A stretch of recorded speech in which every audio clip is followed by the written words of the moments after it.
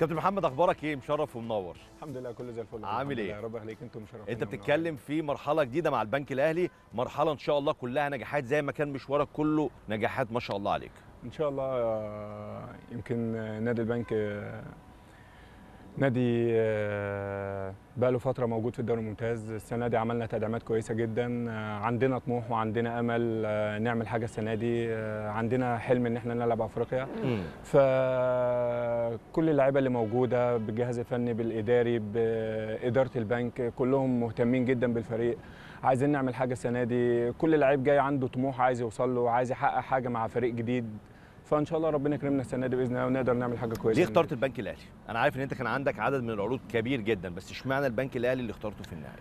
والله اخترت البنك الاهلي يمكن آه، نفسيا ومعنويا آه، الناس آه، اهتمت بشكل كبير جدا آه، اتعاملت معايا كلاعب بروفيشنال يعني يعني حتى معظم الكلام اللي كان بيتكتب واللي اتقال ما ما حصلش آه، أنا مش فاهم كان ليه الات- ال- الاجتهادات دي كلها اللي بتحصل أو الحرب ال- اللي كانت دايرة إن الموضوع أبو جبل ينتقل فين أو يروح فين أو ما يروحش فين. عشان أنت يعني كان أكيد نجم بس, بس- كان في أسباب رئيسية من ناس معينة كانت بتحصل فما يعني ما كانش ليها داعي مم. بس الحمد لله يمكن أنت بتتكلم عن المشكلة اللي اتقالت اللي بينك وبين رئيس البنك الأهلي رئيس نادي البنك الأهلي بالظبط كده حصل مشكلة بينكم فجاه لانكم أنتوا الاثنين واقفين بتصوروا مع بعض ولا في- يعني سياده اللواء أشرف أشرف. عاملني معاملة من أول يوم قابلته فيها بيقول لي أنا والدك وأنت ابني مم.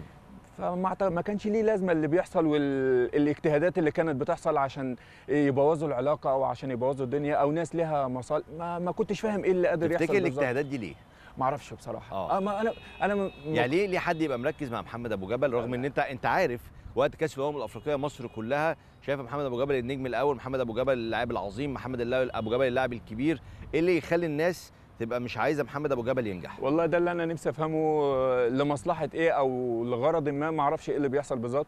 زي ما أنت قلت أنا يمكن جت فترة عليا من الفترات كانت أفريقيا كلها ومعظم العالم كان بيتكلم عني و... وأدائي مع المنتخب وبعد البطولة. من بعد ما رجعت آه، بحس إن في ناس بتتصيد الاخطاء آه، بحس إن في حاجات غريبة كده مش نورمال يعني اللي بيحصل في الكورة مش مش طبيعي. ف ما فيش مشكلة أنا أنا راجل بجتهد وبأدي اللي عليا وربنا شايف وعالم. ما بأذيش حد ما بضايقش حد والحمد لله ربنا بيوفقني. دي الظروف الخارجية لو اعتبرنا إنها صحيحة هل في الفترة ما بعد كأس الأمم الأفريقية شايف إن محمد أبو جبل أدار مشواره المهني بشكل سليم؟ من ناحيته هو. أنا من ناحيتي ما غلطتش في أي حاجة. آه، أنا ما قصرتش في أي حاجة أنا عملت كل ال- الاجتهاد وكل الحلول اللي ربنا من عليا بيها. آه، واللي أنا كنت شايفها في الوقت ده صح.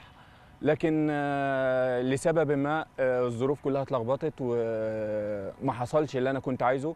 يمكن دي كانت حكمة ربنا برضو في الأول وفي الآخر. ما أقدرش أقول آه، ما يعني ما أقدرش أعترض لأن في الأول وفي الآخر كلها كلها معطيات وكلها أسباب بتحصل. إحنا ماشيين في الدنيا كده.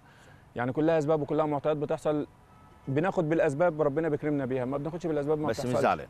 أكيد طبعا مش زعلان. مش زعلان. ربنا اداني حاجة كويسة في وقت أيوة. من الأوقات. ولما خدها مني أكيد أنا مستني الأفضل منه. البنك الاهلي الموسم اللي جاي. انت عندك منافسة كبيرة جدا مع الزنفولي وعمل أداء رائع جدا الموسم الماضي. قدرك دايما إن يبقى معاك حارس تاني منافس قوي جدا مش حارس تاني قليل. في كل مكان أنت لعبت فيه كان عندك حارس تاني وما شاء الله كنت بتثبت وجودك.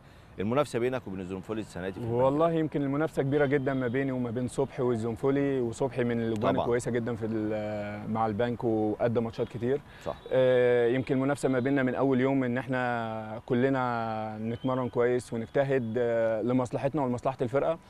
إحنا اللي هنحط الفرقة في في في في موقف سليم في ترتيب كويس في الجدول في أداء كويس. آه، وكل ده هيعود علينا إحنا بالنفع لمصلحتنا إحنا الشخصية ولمصلحة الفرقة. فهو ده كان اتفاقنا وهو ده اللي إحنا شغالين عليه وهو ده مع الكابتن خالد متولي مدرب الاجوان ف عندنا سيستم ماشيين بيه من أول السنة وإن شاء الله نقدر نحقق حاجة زي ما قلت لك في. البداية. هل حصل تواصل بينك وبين الجهاز الفني لمنتخب مصر الفترة الماضية الجهاز الجديد؟ ومنتخب مصر ده شرف كبير لأي حد. طبعاً. يمكن أنا جربت ولعبت في فترة المنتخب يمكن أتمنى إن كل يوم يبقى عندي ماتش منتخب. أكيد حصل فيه تواصل ما بيني بس طبعا هم الناس آه، كلموني بسبب ال- الظروف اللي كنت فيها وبسبب إن أنا كنت لسه ما ما ما رحتش نادي يعني ما خلصتش مع نادي كان عندي كمية مفاوضات كبيرة فالناس فضلوا إن هم يعني يخلوني بره مستبعد المعسكر ده وإن شاء الله الأيام الجاية يكون فيها خير في وقت من الأوقات كان. المنافسة بينك وبين محمد الشناوي كبيرة جدا لدرجة إن في ناس كتيرة كانت بتقول إن محمد أبو جبل يستحق يبقى الحارس الأول لمنتخب مصر حاسس إنك بعدت عن ال- بعدت عن المنافسة دي لا خالص لا آه. خالص آه. ما فيش حد بعيد عن منافسة منتخب مصر أو عن إن هو يكون موجود في حراسة مرمى المنتخب. ده حق مشروع لأي حارس وأي لاعب في, مصر كلها. آه، زي ما قلت لك آه، حتى لما بننضم للمنتخب آه بتبقى في آه، نقط أساسية بس اللي بيأدي كويس واللي بيشتغل كويس في المعسكر ربنا بيوفقه وما فيش حاجة بعيدة عن ربنا. أنت علاقتك زي ما انت شفت ربنا بيغير الحال في, ثانية. صح في كأس الأمم الأفريقية في ثواني. محمد أبو جبره كان رقم واحد في آه مصر. يعني أنا من فترة من واحد عنده كورونا قبل البطولة اللي ما سافرش اللي سافر بعدها بثلاث أيام وصل على أول ماتش. ربنا كرمني عدينا أول ماتش وتاني ماتش جينا في الدور ال 16 آه حصلت إصابة لشناوي نزلت. يعني ترتيب ربنا ما فيش أحسن منه. أنت الفترة دي بالمناسبة يعني ادام أنت ذكرتها الفترة دي كانت فترة مفاجأة. آه طبعا شناوي بقاله فترة هو الحارس الأول لمنتخب مصر. فأي حارس بديل حتى لو هو اسم كبير واسم كويس الناس كانت بتقلق شوية إنه لو شارك مكان محمد شناوي ممكن يحصل مشكلة. انت إزاي كنت جاهز وازاي نفسيا كنت متأهب لهذه الأمور؟ إزاي أصلا تخطيت كل الضغوط الممكنة؟ يعني انت بتتكلم في كأس الأمم الأفريقية ده ضغط لوحده لاعب المنتخب مصر ده ضغط لوحده لا ده انت كمان الجمهور باصص لك إنه لا أبو جبل مش هيسد. ممكن ده يكون طبيعي من وجهة بعض نظر الناس لكن عشان آه ده عشان شناوي رجله ثابتة بالظبط كده. يعني ده طبيعي مع. لعيب الكورة اللعيب اللي يكون بعيد غير اللي بيكون موجود. باستمرار. بس أنا ما بيني وما بين نفسي أنا أنا تعبت كتير جدا في حياتي. أنا من وأنا عندي 12 سنة أنا شغال على الهدف ده عشان أكون موجود في منتخب مصر. عشان لما تجيلي فرصة في منتخب مصر أثبت لنفسي وللناس كلها إن إن في حد موجود اسمه أبو جبل جاهز يكون موجود للمنتخب في أي وقت. طلبوه في الاستعانة بيه جاهز إن هو يكون موجود. يعني وده اداني دافع كبير جدا إن أنا بشتغل على نفسي بحاول أطور من نفسي كل شوية. بخش في منافسات كتير جدا في النادي وفي المنتخب والحمد لله بفضل ربنا بيوفقني وبكسب فيها.